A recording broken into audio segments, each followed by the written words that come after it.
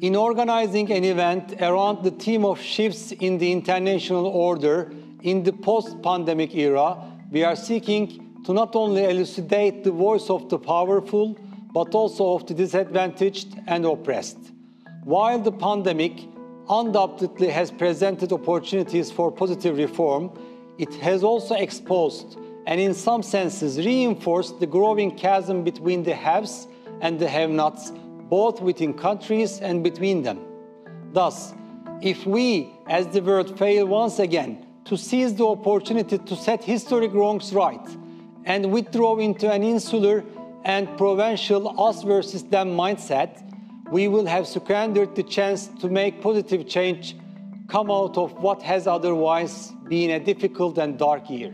Ultimately, our world's most disadvantaged are the ones most at risk of feeling the severe impacts of this pandemic for years to come. Given this, we do not see discussion as merely an exercise in mental gymnastics, but rather as a concrete tool to address real world problems.